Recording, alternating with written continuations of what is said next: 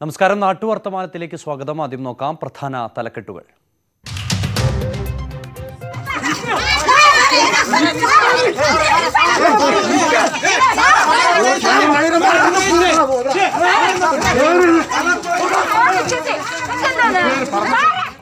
അട്ടപ്പാടിയിൽ ഭീകരാന്തരീക്ഷം സൃഷ്ടിച്ച പോലീസ് ഊരുമൂപ്പനെയും മകനെയും ബലപ്രയോഗത്തിലൂടെ പിടികൂടി. പോലീസ് നടപടി കുടുംബതർക്കവുമായി ബന്ധപ്പെട്ട പരാതിയിൽ.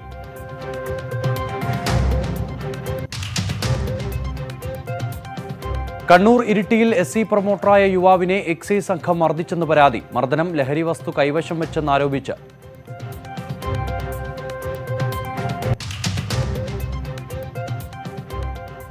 പിതൃക്കൾക്ക് ബലിയിട്ട വിശ്വാസികൾ ചടങ്ങുകൾ കോവിഡ് നിയന്ത്രണത്തോടെ. പ്രമുഖ സ്നാനഘട്ടങ്ങളിൽ ഇത്തവണ ചടങ്ങുണ്ടായില്ല. കോഴിക്കോട് കടപ്പുറത്ത് മാനദണ്ഡം ലംഘിച്ച നൂറോളം പേർക്കെതിരെ കേസ്.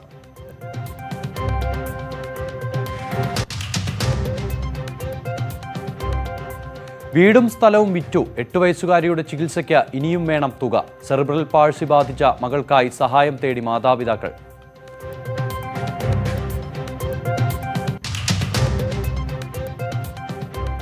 വേമനാട്ടുകായലിനെ മാലിന്യമുക്തമാക്കി സബീഷ്. ദിവസേനയെത്തി പ്ലാസ്റ്റിക് മാലിന്യങ്ങൾ ശേഖരിക്കും. പ്ലാസ്റ്റിക് വിറ്റുകിട്ടുന്ന തുക പാലിയേറ്റീവ് പ്രവർത്തനങ്ങൾക്ക്.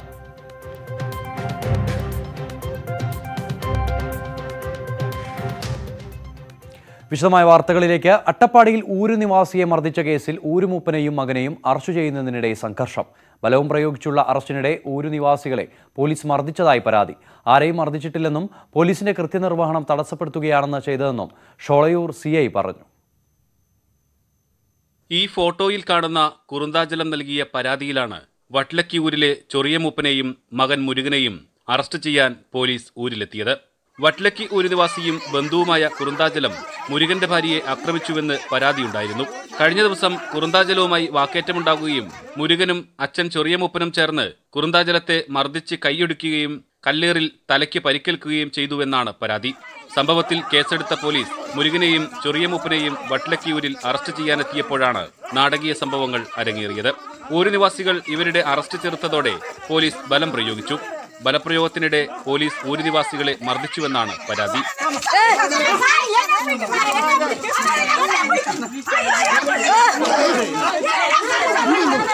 സംഭവത്തിൽ നടപടി ആവശ്യപ്പെട്ട് ഊരുനിവാസികൾ ഷോളയൂർ പോലീസ് സ്റ്റേഷനിലും പിന്നീട് അഗളി എ ഓഫീസിലും പ്രതിഷേധ പ്രകടനം നടത്തി. എന്നാൽ ആരെയും മർദ്ദിച്ചിട്ടില്ലെന്നും പരാതിയുടെ അടിസ്ഥാനത്തിൽ നടപടികൾക്കായാണ് ഊരിലെത്തിയതെന്നും ഷോളയൂർ സി ഐ പറഞ്ഞു. മുരുകനും ഊരുമുപ്പനും പോലീസിന്റെ കൃത്യനിർവഹണം തടസ്സപ്പെടുത്തിയതായും സി ഐ പറഞ്ഞു. News eighteen Palakkad. കോവിഡ് നിയന്ത്രണങ്ങളോടെ കർക്കടക വാവു ദിനത്തിൽ പിതൃക്കൾക്ക് ബലിതർപ്പണം നടത്തി വിശ്വാസികൾ. സ്നാനഘട്ടങ്ങളിലും ക്ഷേത്രങ്ങളിലും ചടങ്ങുകൾ വിലക്കിയതിനാൽ വീടുകളിലായിരുന്നു ബലിതർപ്പണം. പ്രമുഖ സ്നാനഘട്ടങ്ങളായ തിരുനാവായ ആലുവ മണപ്പുറം തിരുവല്ല പരശുരാമ ക്ഷേത്രങ്ങളിലൊന്നും ചടങ്ങുകൾ ഉണ്ടായിരുന്നില്ല. പിതൃമോക്ഷം തേടി പതിനായിരങ്ങളായിരുന്നു ഓരോ കർക്കിടക വാവിനും സ്നാനഘട്ടങ്ങളിലും ക്ഷേത്രങ്ങളിലും ബലിതർപ്പണത്തിന് എത്തിയിരുന്നത്. എന്നാൽ കോവിഡ് നിയന്ത്രണങ്ങൾ തുടരുന്ന സാഹചര്യത്തിൽ കഴിഞ്ഞ വർഷത്തേതുപോലെ ഇക്കുറിയും ക്ഷേത്രങ്ങളിൽ ബലിതർപ്പണ ചടങ്ങുണ്ടായിരുന്നില്ല. ഇതായിരുന്നു തിരുവല്ലത്തെ കാഴ്ച. സാധാരണ രീതിയിലുള്ള ബലിതർപ്പണം ഇല്ല ബലിതർപ്പണമേ ഇന്നത്തെ ദിവസം ഇല്ല ഇന്ന് നടക്കുന്നത് കൂട്ടനമസ്കാരം തിലഹോമം ബാക്കി അർച്ചനകൾ വഴിപാടുകളൊക്കെയാണ് നടക്കുന്നത്. ആലുവയിൽ ബലിതർപ്പണം ഉണ്ടായിരുന്നില്ലെങ്കിലും ക്ഷേത്രത്തിലെ ചടങ്ങുകൾക്ക് മാറ്റമുണ്ടായില്ല. അനുവദനീയമായ വിധത്തിൽ ചുരുക്കം ചില വിശ്വാസികൾ മാത്രം ക്ഷേത്രത്തിലെത്തി. വന്നതാണ്. പക്ഷെ ഇപ്രാവശ്യം ഇല്ലല്ലോ. നമസ്കാരമൊക്കെ കഴിച്ചു പോകുന്നു കോവിഡ് മാനദണ്ഡങ്ങൾ പാലിച്ചുകൊണ്ട് കുറച്ച് പേർക്ക് പതിനഞ്ച് പേർക്ക് വെച്ചിട്ട് അവരേക്ക് പ്രവേശനം അങ്ങനെയാണ് ഇപ്പം ക്രമീകരിച്ചിട്ടുള്ളത്. വർക്കല തിരുനാവായ കോട്ടയത്തെ പനച്ചിക്കാട് കോഴിക്കോട് ബീച്ച് പയ്യാമ്പലം ബീച്ച് തിരുനെല്ലി എന്നിവിടങ്ങളിലും തിരക്കൊഴിഞ്ഞ കാഴ്ചയായിരുന്നു. ചിലയിടങ്ങളിൽ ഓൺലൈനായിട്ടായിരുന്നു പിതൃമോക്ഷ ചടങ്ങുകൾ. ഒരു ഗ്ലാസ്സിൽ ജലം അല്ലെങ്കിൽ കിണ്ടിയിലോ ജലമാണ് ആവശ്യമുള്ളത്.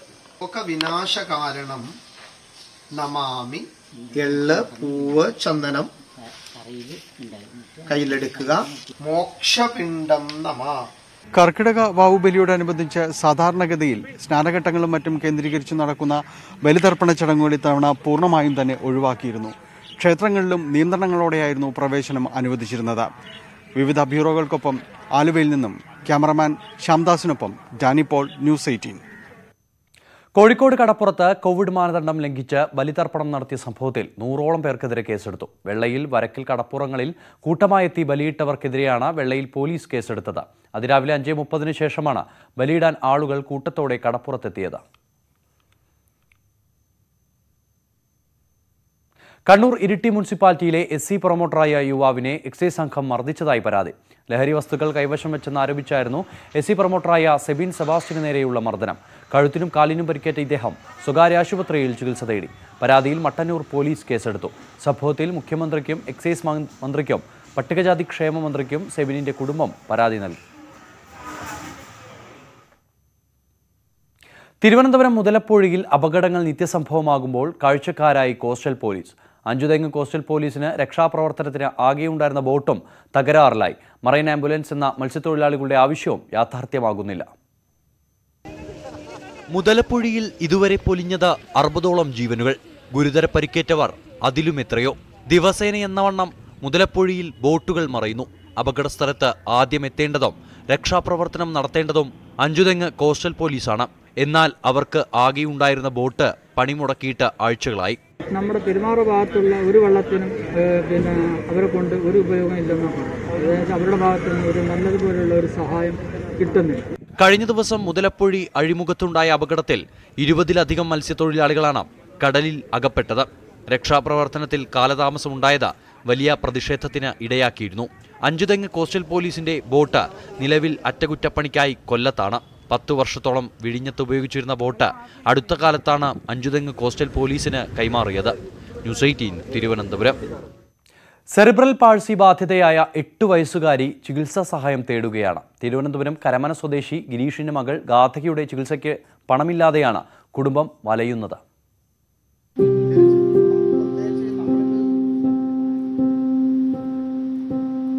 വീൽചെയറിന്റെ സഹായത്തോടെയാണ് ഗാഥയുടെ ജീവിതം. ശ്രീചിത്ര ഇൻസ്റ്റിറ്റ്യൂട്ടിലായിരുന്നു ചികിത്സ. വീടും സ്ഥലവും വിറ്റാണ് കുടുംബം ചികിത്സാ ചിലവ് കണ്ടെത്തിയത്. ഗാഥയുടെ ആരോഗ്യസ്ഥിതിയിൽ പുരോഗതിയുണ്ടായെങ്കിലും പിന്നീട് ചികിത്സ നിലച്ചത് സ്ഥിതി ഗുരുതരമാക്കുകയാണ്. കരമന സ്വദേശികളായ ഗിരീഷ് ഗീത ദമ്പതികളുടെ മകളാണ് ഗാഥ. സ്വകാര്യ ബസ് കണ്ടക്ടറായിരുന്ന ഗിരീഷിന് കോവിഡ് കാലത്ത് തൊഴിൽ നഷ്ടമായതോടെ വീട്ടുചെലവിന് പോലും പണമില്ലാത്ത അവസ്ഥയാണ്. ട്രീറ്റ്മെന്റ് നടത്താൻ ശേഷിയില്ലാത്ത ഒരു അവസ്ഥയാണ് കാരണം നമുക്ക് ഒരു സ്വന്തമായിട്ടൊരു തളിയലിലൊരു ഒന്നര സെന്റ് സ്ഥലത്തൊരു വീടുണ്ടായിരുന്നു.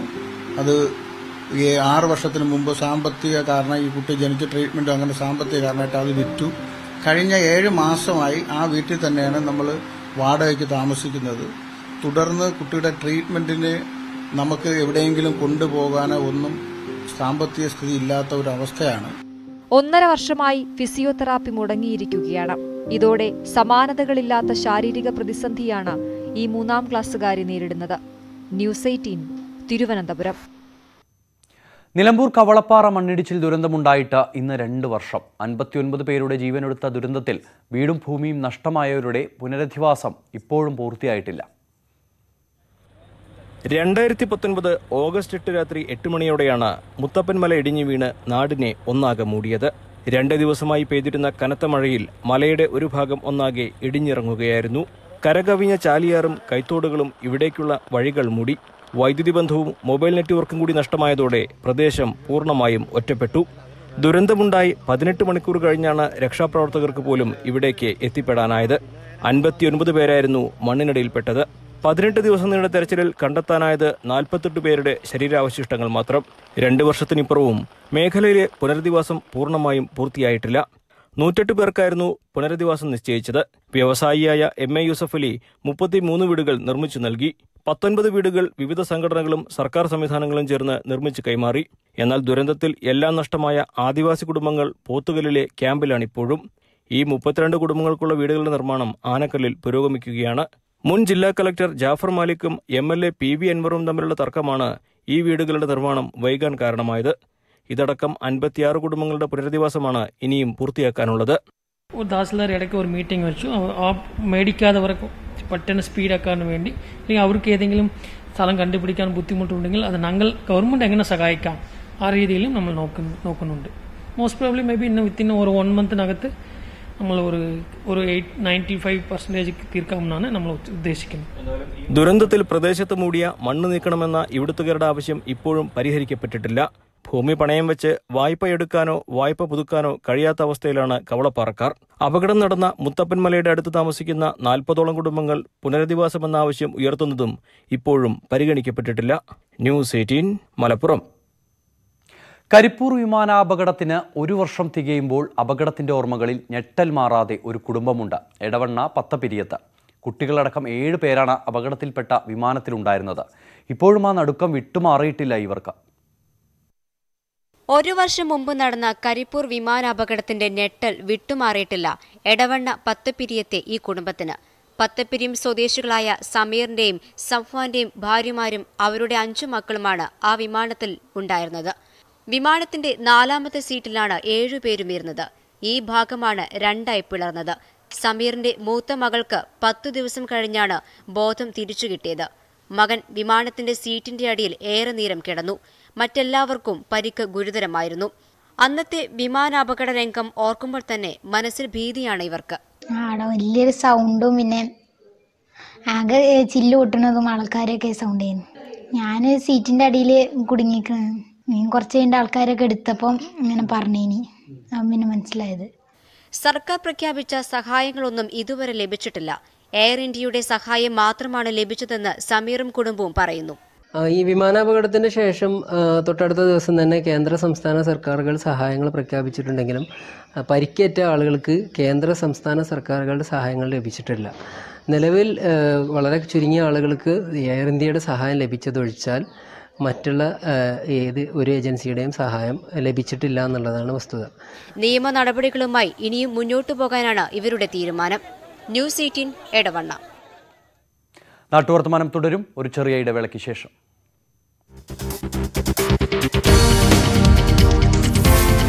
Sreeni Alakode news eighteen Kannur.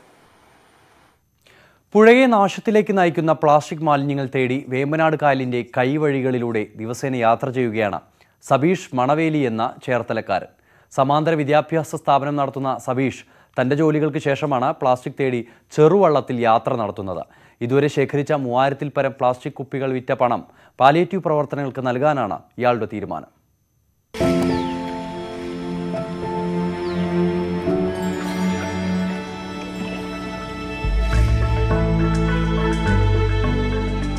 പതിവ് ദിനചര്യകളിൽ നിന്ന് മാറി നാം മാറ്റിവെക്കുന്ന ചില മണിക്കൂറുകൾ വ്യത്യസ്തമായ പ്രവൃത്തികൾ സബീഷ് മണവേലി എന്ന ചെറുപ്പക്കാരന്റെ ആ ചിന്തകളിൽ വിരിഞ്ഞ ആശയമാണ് പ്രകൃതിയിലേക്കുള്ള ഈ യാത്ര.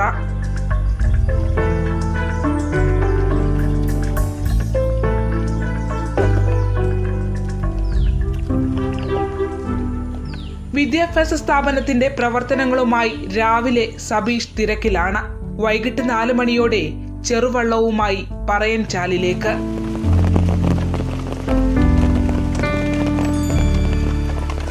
നാല് മണിക്ക് ശേഷം ഒരു ആറ് മണി വരെയുള്ള സമയമാണ് ഞാൻ ഇതിനുവേണ്ടി ഉപയോഗിക്കുന്നത്. ഒരു ഒരു മണിക്കൂർ ഒന്നര മണിക്കൂർ വള്ളത്തിൽ ഈ പറയഞ്ചാൽ തൊട്ട് വേമ്പനാട് കായൽ വരെയുള്ള ഭാഗങ്ങളിലേക്ക് സഞ്ചരിക്കും. എല്ലാ ദിവസവും ഒരു ഒരു ചാക്ക് ഒന്നര ചാക്ക് എങ്കിലും നമുക്ക് പ്ലാസ്റ്റിക് കുപ്പി കിട്ടും. പ്ലാസ്റ്റിക്കിന്റെ ധാരാളം സാധനങ്ങളുണ്ട്. അത് നമ്മളിപ്പോൾ ശേഖരിച്ച് കരക്ക് വെക്കുക മാത്രമാണ്. വേമ്പനാടിന്റെ കൈവഴികളിൽ വലിച്ചെറിയപ്പെട്ട മൂവായിരത്തോളം പ്ലാസ്റ്റിക് കുപ്പികളാണ് ഈ യാത്രയിലൂടെ സബീഷ് ഇതുവരെ ശേഖരിച്ചത്.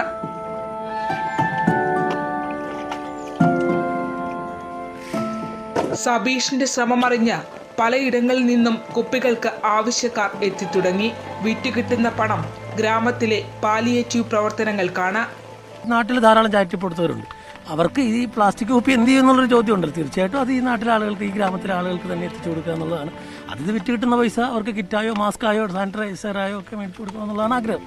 ഒരു മാസത്തിന് മുകളിലായി തുടരുന്ന യാത്ര ഇടത്തോടുകളും കൈവഴികളും താണ്ടി വേമ്പനാടിന്റെ ഹൃദയത്തിലേക്ക് എത്തുമെന്ന പ്രത്യാശയിലാണ് ഈ പ്രകൃതി സ്നേഹി. പുഴയും കായലുമൊക്കെ മരണാസന്നമായ കാലത്ത് അവശേഷിക്കുന്ന നീർച്ചാലുകൾക്കെങ്കിലും ജീവശ്വാസം നൽകുകയാണ് സബീഷിനെ പോലെയുള്ള പ്രകൃതി സ്നേഹികൾ. തണ്ണീർമുക്കത്തെ പറയഞ്ചാലിൽ നിന്നും ക്യാമറമാൻ പ്രശാന്ത് മംഗലശ്ശേരിക്കൊപ്പം ശരണ്യ സ്നേഹജൻ ന്യൂസ് എയ്റ്റീൻ. വിരൽത്തുമ്പിൽ പേന കറക്കി ഗിന്നസ് റെക്കോർഡ് കരസ്ഥമാക്കിയിരിക്കുകയാണ് മലപ്പുറം വേങ്ങര സ്വദേശി സിനാൻ. ഒരു മിനിറ്റിൽ നൂറ്റിയെട്ട് തവണ വിരൽത്തുമ്പിൽ പേന കറക്കിയാണ് സിനാൻ ഈ നേട്ടം കരസ്ഥമാക്കിയത്. കാനഡയിൽ നിന്നുള്ള അലേഷ്യ അമോട്ടോയുടെ പേരിലുള്ള റെക്കോർഡാണ് സിനാൻ പഴങ്കഥയാക്കിയത്. നേരത്തെ ഇന്ത്യ ബുക്ക് ഓഫ് റെക്കോർഡ്സിൽ ഇടം നേടിയ സിനാൻ നിരന്തര പരിശീലനത്തിലൂടെ ലോക റെക്കോർഡും കരസ്ഥമാക്കിയിരിക്കുകയാണ്. ഒരു മിനിറ്റിൽ നൂറ്റിയെട്ട് തവണ വിരൽത്തുമ്പിൽ പേന കറക്കിയാണ് ഗിന്നസ് വേൾഡ് റെക്കോർഡിൽ ഇടം നേടിയത്. ഗിന്നസ് വേൾഡ് റെക്കോർഡ്സിന്റെ അത് രണ്ടായിരത്തി ഇരുപത് നവംബറിൽ ഗിന്നസ് വേൾഡ് റെക്കോർഡ്സ് ഒഫീഷ്യലായിട്ട് പോസ്റ്റ് ചെയ്തൊരു വീഡിയോയിൽ പത്ത് സെക്കൻഡിൽ പത്ത് സെക്കൻഡ് കുറഞ്ഞ ദൈർഘ്യമുള്ളൊരു വീഡിയോ ആണ്. ഇപ്പോൾ ഇന്ന് തന്നെ ഈ നേട്ടം നേടാൻ കൈവരിച്ച ഒരു പ്രധാ പ്രധാന ഘടകം. ഫെബ്രുവരിയിൽ സഹപാഠികളുടെയും അധ്യാപകരുടെയും ജഡ്ജിംഗ് കമ്മിറ്റി അംഗങ്ങളുടെയും സാന്നിധ്യത്തിലാണ് ഗിന്നസ് റെക്കോർഡിന് അപേക്ഷിക്കുവാനുള്ള വീഡിയോ നിർമ്മിച്ചത്. നൌഷാദ് അലി ലൈലാബി ദമ്പതികളുടെ മകനായ Sinan Vengara Malabar college of advance സ്റ്റഡീസിൽ മൂന്നാം വർഷ ബി സി എ വിദ്യാർത്ഥിയാണ്. News eighteen Tirur. കോവിഡ് കാലത്ത് ബസ് വ്യവസായം പ്രതിസന്ധിയിലായപ്പോൾ പശുപരിപാലനം ജീവിതമാർഗമായിരിക്കുകയാണ് കാസർഗോഡ് കൊടക്കാട് വലിയപ്പോയിലെ ടി വി രാഗേഷ് ഒന്നര വർഷമായി രാഗേഷിന്റെ ജീവിതമാർഗം പശു വളർത്തലാണ്. വീടിന് മുന്നിൽ പ്ലാസ്റ്റിക് ഷീറ്റ് കൊണ്ട് മൂടിക്കെട്ടിയ ബസ് ഈ മേഖല നേരിടുന്ന പ്രതിസന്ധിയാണ് സൂചിപ്പിക്കുന്നത്. ഡീസൽ വില വർധനയും കോവിഡ് പ്രതിസന്ധിയും ചെറുകിട സ്വകാര്യ ബസ് ഉടമകളുടെ ജീവിതത്തിൽ വലിയ ബുദ്ധിമുട്ടാണ് ഉണ്ടാക്കിയത്. ജീവിതം മുന്നോട്ട് കൊണ്ടുപോകാൻ കഴിയാതെ വന്നതോടെ പലരും പല മേഖലയിലേക്ക് ചുവടുമാറ്റി സ്വന്തമായി രണ്ട് സ്വകാര്യ ബസ്സുകൾ ഉണ്ടായിരുന്ന രാഗേഷ് ഇപ്പോൾ മുഴുവൻ സമയ ക്ഷീര കർഷകനാണ് ലോക്ക്ഡൌണിൽ ജീവിതം പ്രതിസന്ധിയിലായപ്പോൾ രണ്ടു പശുക്കളെ വാങ്ങിയായിരുന്നു തുടക്കം. ഇപ്പോൾ അഞ്ച് കിടാരികൾ ഉൾപ്പെടെ പതിനാറ് പശുക്കളുണ്ട്. പുതിയ ജീവിത സാഹചര്യത്തിൽ ഏറെ സന്തുഷ്ടനാണ് രാകേഷ്. അവർ മൂന്നരക്ക് എണീക്കും.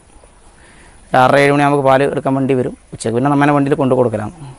പ്രത്യേകിച്ച് പോകാനൊന്നും പറ്റില്ല. എന്നാലും ഇത് കൂടി പറഞ്ഞാൽ മനസ്സ് സന്തോഷം ഇപ്പോൾ ടെൻഷനില്ലാത്തൊരു ജീവിതം. അത്ര തന്നെ. വണ്ടി. പുലർച്ചെ മൂന്ന് മണിയോടെ ആരംഭിക്കുന്നതാണ് രാകേഷിന്റെ ഒരു ദിനം. ഓലാട്ട് ക്ഷീരോത്പാദക സഹകരണ സംഘത്തിൽ ഏറ്റവും കൂടുതൽ പാലളക്കുന്ന ക്ഷീരകർഷകനാണ് രാകേഷ് ഇപ്പോൾ. നൂറ് ലിറ്ററോളം പാൽ സംഘത്തിൽ കൊടുക്കുന്നുണ്ട്. വീട്ടിലെത്തി പാൽ വാങ്ങുന്നവരും ഏറെയാണ്. സർക്കാർ ധനസഹായം ലഭിക്കുകയാണെങ്കിൽ ഫാം കൂടുതൽ വിപുലപ്പെടുത്താനാണ് തീരുമാനം. കോവിഡ് പ്രതിസന്ധി അകന്നാലും പൂർണമായും പഴയ തൊഴിൽ മേഖലയിലേക്ക് പോകാൻ രാകേഷിന് താല്പര്യമില്ല ന്യൂസ് എയ്റ്റീൻ ചെറുത്തൂർ കർഷകർക്ക് അവരുടെ ഉൽപ്പന്നങ്ങൾ നേരിട്ട് വിപണനം ചെയ്യാൻ സൗകര്യമൊരുക്കി കായംകുളം കൃഷിഭവൻ. വിഷരഹിത പച്ചക്കറി ജനങ്ങളിലേക്ക് എത്തിക്കാനായി വഴിയോര കാർഷിക വിപണി പ്രവർത്തനം ആരംഭിച്ചു. സംസ്ഥാന സർക്കാരിന്റെയും കൃഷി വകുപ്പിന്റെയും നൂറിനം പരിപാടികളിൽ ഉൾപ്പെടുത്തിയാണ് കായംകുളം കൃഷിഭവൻ വഴിയൂര കാർഷിക വിപണന കേന്ദ്രം ആരംഭിച്ചത്. കർഷകർക്ക് അവരുടെ ഉൽപ്പന്നങ്ങൾ നേരിട്ട് വിപണനം ചെയ്യാനുള്ള അവസരമാണ് ഒരുക്കിയത്. എല്ലാ ആഴ്ചയിലും ഒരു ദിവസമാണ് വഴിയൂര വിപണന കേന്ദ്രം തുറക്കുക.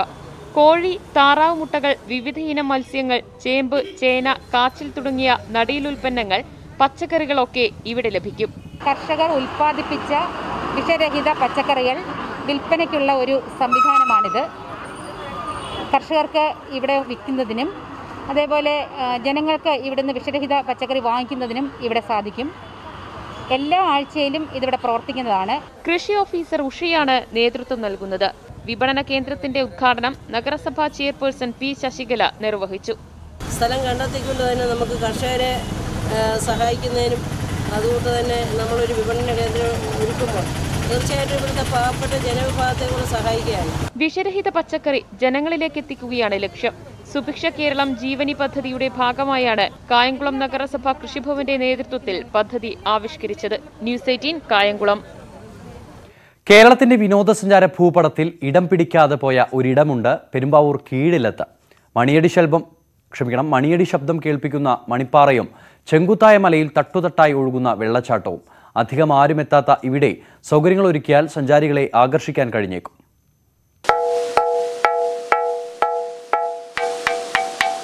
മലമുകളിൽ നിന്നും ഉരുളൻകല്ലുകളിലൂടെ തട്ടിത്തെറിച്ചൊഴുകുന്ന മനോഹരമായ ഈ വെള്ളച്ചാട്ടം പച്ചപ്പിന് നടുവിൽ സുരക്ഷിതത്വവും സ്വകാര്യതയും നൽകുന്ന ഇവിടെ കുടുംബസമേതം എത്താൻ പറ്റിയ ഇടമാണ്. മണിനാഥം പുറപ്പെടുവിക്കുന്ന മണിപ്പാറയാണ് പ്രധാന ആകർഷണം. ഈ ശബ്ദം നാല് കിലോമീറ്റർ ദൂരത്തിൽ വരെ കേൾക്കും. പെരുമ്പാവൂർ രായമംഗലത്താണ് അധികമാരും എത്താത്ത പ്രകൃതിയുടെ ഈ കൗതുകം.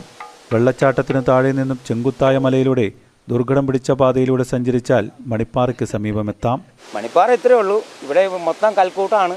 അതിലൊരു കല്ല് മാത്രമാണ് ഇങ്ങനെ ഇരിക്കുന്നത് അതിന്റെ സംഭവനൊന്നും സംഭവം ആർക്കും അറിയാൻ പാടില്ല. ചരിത്രത്തിന്റെ അവശേഷിപ്പായ പുരാതന ജൈനമത ക്ഷേത്രമായിരുന്ന കല്ലിൽ ഗുഹാക്ഷേത്രത്തിന് ഇരുന്നൂറ് മീറ്റർ അടുത്താണ് മണിപ്പാറ.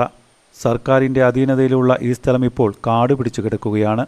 പ്രകൃതി കനിഞ്ഞു നൽകിയ ഈ മനോഹരമായ ഇടവും അത്ഭുത മണിപ്പാറയും സംരക്ഷിക്കണമെന്നാണ് പ്രദേശവാസികൾ പറയുന്നത്. ഇതിനകത്ത് മണിയടിക്കുന്ന ഒരു സൗണ്ട് അല്ലെങ്കിൽ വോട്ട് പാത്രത്തിൽ മുട്ടുന്ന ഒരു സൗണ്ട് ഒരു മൂന്നാൽ കിലോമീറ്റർ ദൂരം നമുക്ക് അതിൽ മുട്ടിക്കഴിഞ്ഞാൽ നമുക്ക് കേൾക്കാൻ പറ്റും. അപ്പോൾ അങ്ങനെ അത് കാലങ്ങളായിട്ട് തുടർന്ന് പോയിരുന്നു. ഇപ്പോൾ അതിനകത്ത് ആ പാറയുടെ പേരിൽ മണി മുട്ടാൻ വരുന്നതിന്റെ പേരിൽ പല വിധത്തിലുള്ള പോരായ്മകളും ഇവിടെ നടക്കാറുണ്ട്. പല വിധത്തിലുള്ള അനാശാസ്യ പ്രവർത്തനങ്ങളും പല വിധത്തിലും കാര്യങ്ങളും ഇവിടെ നടക്കാറുണ്ട്. K N Nisar News eighteen Perumbavoor. Covid മഹാമാരിയെ ചെറുക്കാൻ വാക്സിൻ എടുക്കണമെന്ന സന്ദേശവുമായി Network eighteen Federal Bank Sanjeevani campaign തുടരുകയാണ്. രാജ്യത്തിന്റെ വിവിധ ഭാഗങ്ങളിലൂടെ സഞ്ചരിക്കുന്ന സഞ്ജീവനി ഗാഡി ഇതുവരെ അഞ്ഞൂറ്റി രണ്ട് ഗ്രാമങ്ങൾ പിന്നിട്ടു. രണ്ട് ലക്ഷത്തി അൻപത്തി ഏഴായിരത്തി ഇരുന്നൂറ്റി അൻപത് പേരിലേക്കാണ് സഞ്ജീവനി ഗാഡി വാക്സിനേഷൻ സന്ദേശം എത്തിച്ചത്.